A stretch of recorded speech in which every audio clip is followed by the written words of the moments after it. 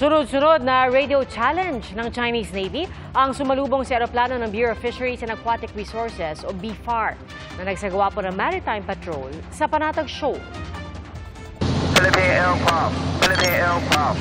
This is a Chinese Navy warship. Leave immediately and stay away from this area. Over. China. You are way beyond the 200 nautical mile east of your country. Please review your chart. Labin limang beses na nagradyo ang Chinese Navy para paalisin ang eroplano ng BFAR.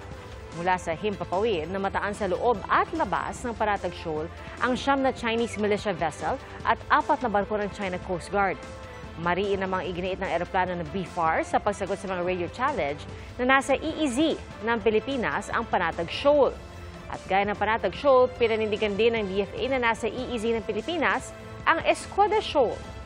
Ang sa National Maritime Council, hindi aalis ang Pilipinas sa Escuadra Shoal sa kabila ng gustong mangyari ng China. Saksi si Joseph Moro. Ilang beses binangga noong August 31 at bago yan pinalibutan ng mga barko ng China. Pero nasa Skoda Shoal pa rin ang BRP Teresa Magbanwa na limang buwan na nagbabantay roon dahil sa pangamba magre-reclaim umano sa lugaran China. Ang Skoda Shoal pareho nabanggit sa mga pahayag ng DFA at Chinese Foreign Ministry bilang isa sa mga paksa ng katatapos lamang na bilateral consultation mechanism sa pagitan ng dalawang bansa. Sa pulong, iginiit ng Pilipinas na nasa loob ng ating exclusive economic zone ng Skoda Shoal at pinag-usapan daw kung paano mapapababa ang tensyon. Sabi naman ng China, iginit din ito ang posisyon nila ukol sa Skoda at inodyok ang Pilipinas na paalisin ang mga barko nito. Ayon sa Chinese Army Lieutenant General na si He Lei, manatili sanang mapayapa ang South China Sea. Pero kung itutulak raw ng Amerika ang ibang bansa o sarili nito sa frontline, mawawalan daw ng pasensya ang People's Liberation Army.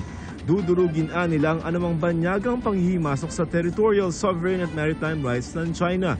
Sinusubukan naming kunan ng pahayag ang Amerika kaugnay sa pahayag ng China pero sa isang panayam sa US Ambassador to the Philippines, muli naman nagpahayag ng suporta sa Pilipinas ang Amerika. I can certainly say that the nine dash line or now 10 dash line uh, that uh, China has drawn is, based, is, is a cartoon. That's not based in law. That is not a factual, uh, a factual representation of international maritime law. Aminado ang Philippine Navy na nakatuon ng kanilang pansin ngayon sa Skoda Shoal na lampas isandaang kilometro lamang ang layo mula sa Palawan. Nitong mga nakarang araw, daan-daan mga barko ng China ang namataan sa West Philippine Sea. Marami nasa Skoda Shoal. Gate ng National Maritime Council, hindi aalis ang Pilipinas sa Skoda Shoal. Anila, iligal at paglabag sa international laws ang pananatili ng Chinese vessels doon. Para sa GMA Integrated News, ako si Joseph Morong, ang inyong saksi.